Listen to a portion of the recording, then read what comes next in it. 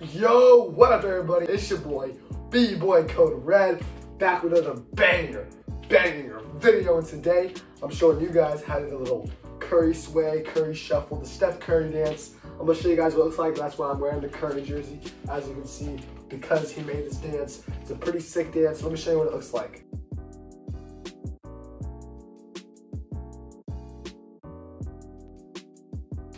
All right, so for the first step of this dance, you're gonna have to get low.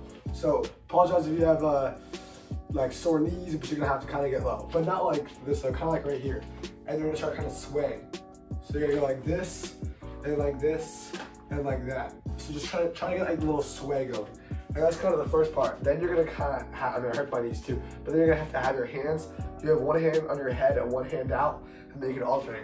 So it's like this, kind of like that, and then you can put both hands on your head. So you go from here, here, then like that, and like this, like that, and then kind of turn your body as you do it like that. So I'm gonna show you from a different camera angle, the angle that was actually being recorded when you did it. All right, right here is pretty good, but it's like this. Boom, boom, boom, boom, boom, boom, boom. And that's the Curry Sway.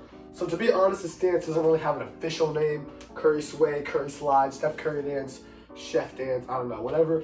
Whatever you guys want to name it, I'm probably just gonna call it the Curry Sway, Steph Curry Dance. But hey, if you enjoyed the video, you can hit the subscribe button. You know what I'm saying? Greatly appreciated. Try to make new videos, try to make of videos a week. Appreciate you guys. See you in the next one. Peace out.